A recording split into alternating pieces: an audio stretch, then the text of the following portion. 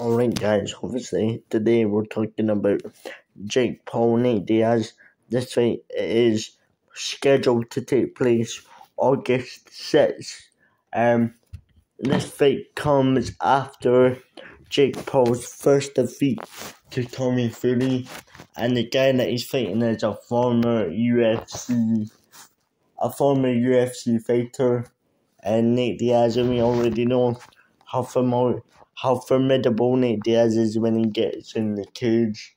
And so I think it will be a hard fight, a hard fight for Jake, but I do think Jake will win. Um, but obviously, obviously for me, um, Jake Paul's not gonna get the knockout because many guys have tried to knock out Nate Nate Diaz in the UFC and failed, but yeah, but this fight will obviously be on DAZN. Uh, I'm really looking forward to this. Um, obviously, Jake Paul said he's made a few changes to his camp, but I don't know what these changes are as of now. But obviously, we will see, and if I find out what those changes are, I will let you guys know when I do find out, and I want to be the first guy to let you know what's been going on in boxing and this whole Jake Paul and Nate Diaz fight. Um, so that was a really quick video to tell you this fight is being made official.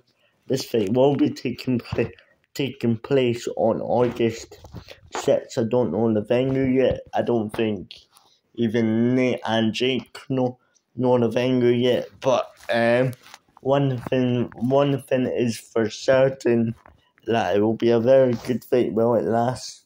Um, but yeah, uh, if you're new to my channel, like and subscribe.